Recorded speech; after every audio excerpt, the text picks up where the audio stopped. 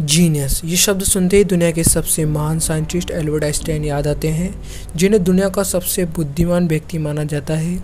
यहाँ तक कि नई फोर्टीन मार्च उनका बर्थडे जीनियस डे के रूप में मनाया जाता है।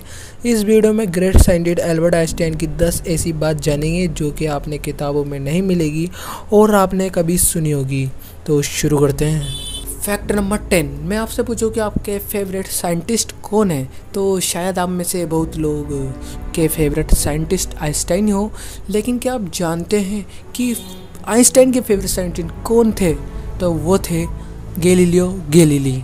Fact number nine एक बार अल्बर्ट आइंस्टाइन की वाइफ से पूछा गया था, क्या आप अपने हस्बैंड की थ्योरीज को समझते हो?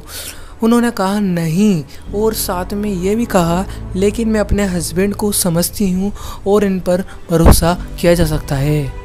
फैक्ट नंबर एट, इतने बड़े साइंटिस्ट होने के बावजूद भी आइंस्टाइन को कार चलाना नहीं जानते थे और इन्हें समुद्री यात्रा बहुत पसंद थी, लेकिन इनको तैरना नहीं आता था। फैक्ट नंबर सेवन जब आइंस्टाइन पैदा हुए थे तो उनका सिर बाकी बच्चों के मुकाबले बहुत ज़्यादा बड़ा था और डॉक्टरों ने इनसे कह दिया था कि मानसिक तौर से ये विकलांग और आइंस्टाइन ने सात साल की उम्र से पहले पढ़ना शुरू नहीं किया था और आइंस्टाइन ने हमेशा लड़ते हुए स्कूल जाते थे।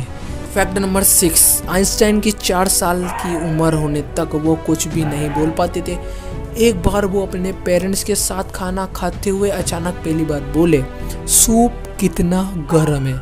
ये सुनने के बाद आइंस्टाइन के पेरेंट्स शॉक्ड हो गए थे। फैक्ट नंबर फाइव ये तो आप जानते होंगे, आइंस्टाइन को बचपन में मन बुद्धि वाला लड़का माना जाता था। टीचरों ने ये तक कह दिया था कि ये बंदा, यानी कि आइंस्टाइन, ये लड़का ज़िंदगी में कुछ नहीं कर पाएगा। वो ही लड़का दुनिया का सबसे महान साइंटिस्ट बना।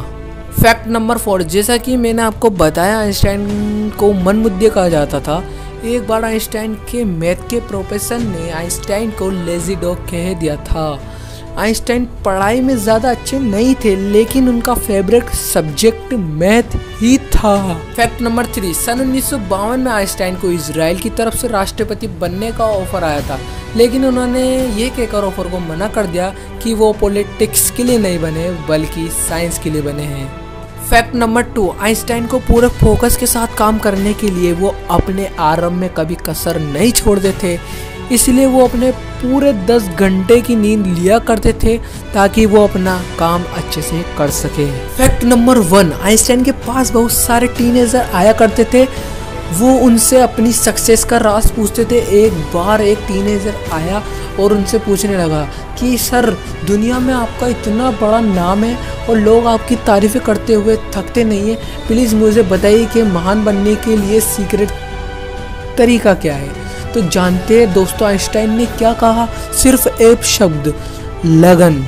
तो भाई आपको इस वीडियो का सेकंड पार्ट चाहिए तो प्लीज़ चैनल को सब्सक्राइब कर देना और बेल आइकन को दबा देना जिससे आपको हमारी इस वीडियो का सेकंड पार्ट मिल पाए और इस वीडियो को आपको पसंद आई हो या आपको इस वीडियो से कुछ जानने के लिए मिला हो तो प्लीज़ यार इस वीडियो को एक लाइक कर देना और आप दूसरे को भी शायद इसको नॉलेज को शेयर कर सकते हो तो अपने फ्रेंड्स के साथ इसको शेयर कर देना और आपकी बहुत ज़रूरत है।